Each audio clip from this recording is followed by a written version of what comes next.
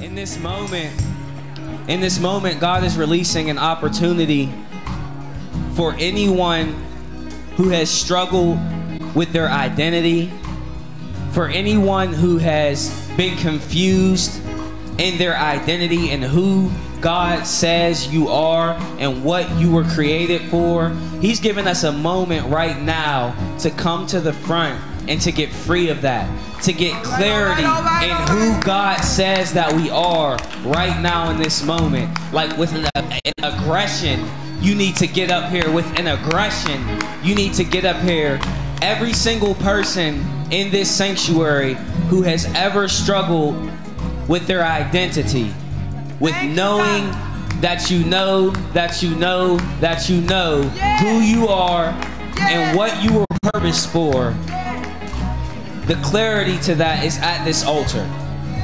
The clarity to that is at this altar. So as Sarah Lee continues to sing, Rain down on us, God. We're giving you permission, God, to rain down with clarity of purpose and with your love, Lord God.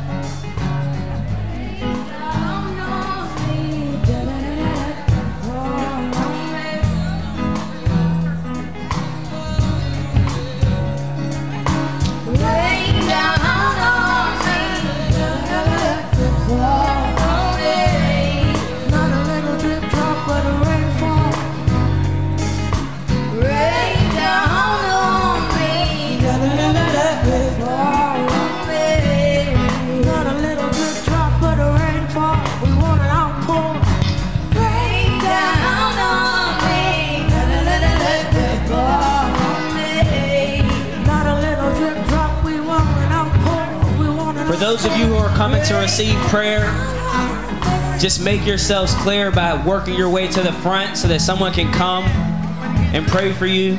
Don't be afraid to raise your hand. Don't be afraid to raise your hand. If you're coming to receive prayer for clarity in your identity,